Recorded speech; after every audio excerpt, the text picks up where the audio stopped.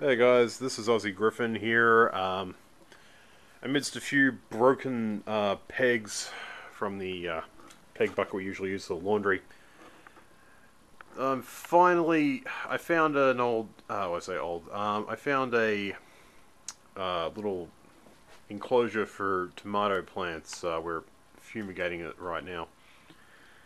And, um, yeah. This is going to be the, I'm just going to stand back a bit. This is going to be the outer, outer layers of the tent I'm going to use for my new business venture where I do fortune telling for uh, fun and profit. Because, hey, most people can't afford a decent therapist, and I'm just there. So anyway, with any luck, this will actually wind up being pretty good.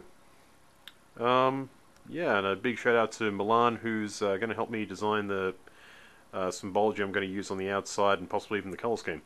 Anyway, wish me luck, guys, and uh, hey, if anybody out there has a uh, needs a housemate in Melbourne, Victoria, um, in the metro area, just uh, give me a shout, preferably near Box Hill. All right.